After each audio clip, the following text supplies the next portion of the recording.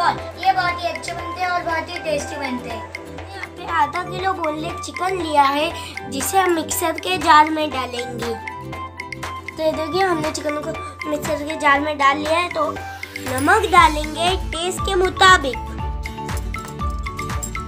एक बड़ा चम्मच अदरक, लहसुन और हरी मिर्च का पेस्ट डालेंगे। एक प्याज को हमने इस तरह से कट कर लिया, उसे अभी हम इसमें डालेंगे। हरा धनिया डालेंगे। पुदीना डालेंगे। हमने दो ब्रेड को मिक्सर में पीस लिया था, उसे अभी हम इसमें डालेंगे। अभी हम इसमें डालेंगे कुटी हुई काली मिर्च। एक चम्मच। अभी हम इसे मिक्सर में इसको पीस लेंगे। तो ये देखिए गाइस हमने चिकन को पीस लिया। तो अभी हम इसका थोड़ा सा बैटर लेंगे और इसको इस तरह से बॉल रेडी करेंगे इसके।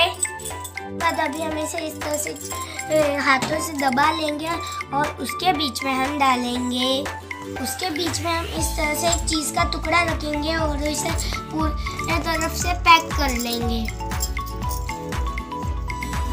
और इसका बॉल रेडी करेंगे। और गैस इसी तरह हम सारे के सारे बॉल्स रेडी करेंगे और रखते रहेंगे। देखिए आपको हम और एक बना के दिखाते हैं।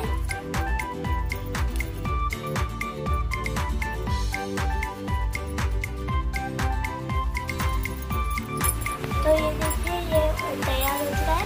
तो ये देखिए, हमने इसको इस तरह से रेडी कर लिया। तो अब मैदा हमने यहाँ पे मैदा लिया है और दो अंडे को फेंट लिया है और ये ब्रेड क्रम्स लिए हैं। तो अभी हम पहले तो इसमें से एक बॉल लेंगे और उसको अभी मैदे में डिप करेंगे और इसे चारों तरफ़ से मैदे से लगा लेंगे।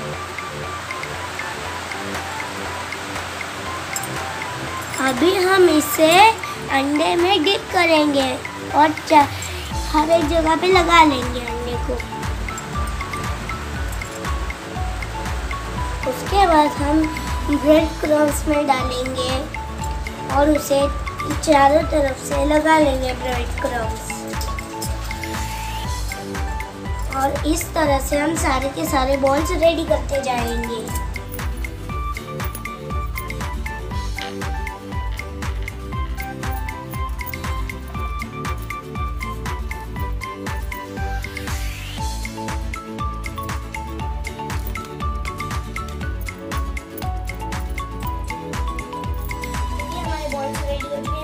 अभी से फ्राई करते हैं।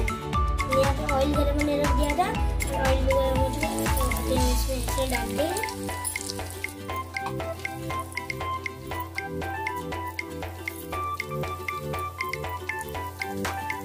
हमें धीमी आँच पे फ्राई करना है।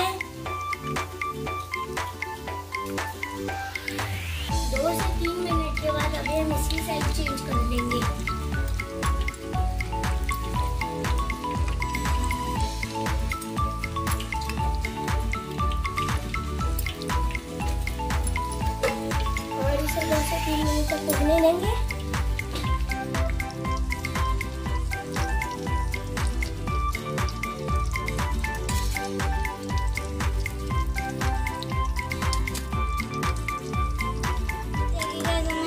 चिकन चीज़ बॉल रेडी हो चुके हैं। देखिए कितने अच्छे दिख रहे हैं। तो अभी हम इसे काट के बताते हैं इसे अंदर से कैसा है देखिए ये अंदर से भी एकदम पक चुके हैं और इसका जो चीज़ है वो भी मेल्ट हो चुका है। तो अभी हम आपको टेस्ट करके बताते हैं कैसा बना है।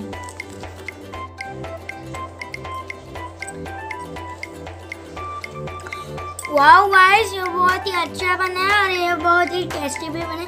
आप इस रेसिपी को ज़रूर ट्राई कीजिए।